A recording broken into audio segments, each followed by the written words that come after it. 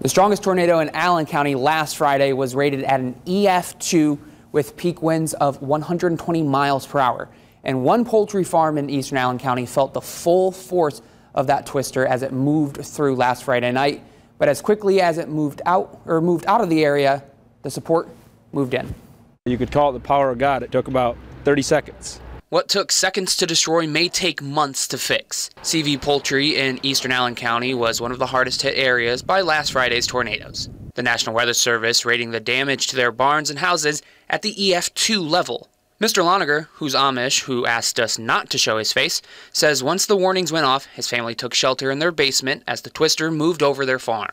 And we didn't know what happened. We, we heard a lot of noise, sounded like a freight train. There was a crackling noise, loud crackling noise, and it sounded it sounded like the house had fell to pieces basically. Once it was over, they went to see the damage, seeing it was worse than what they thought.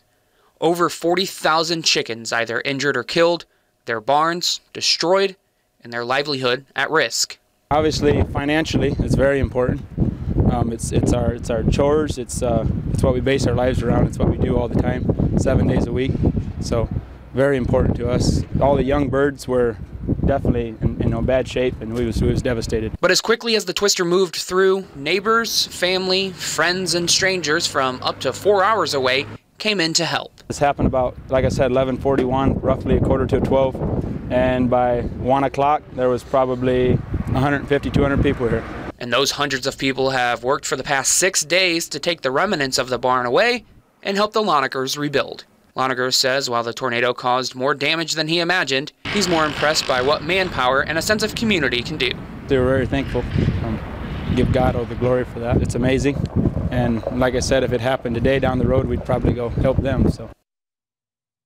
And Loniger says while the barns may be finished soon, it could take up to 12 weeks for his family's farm to receive chickens and return to normal operations.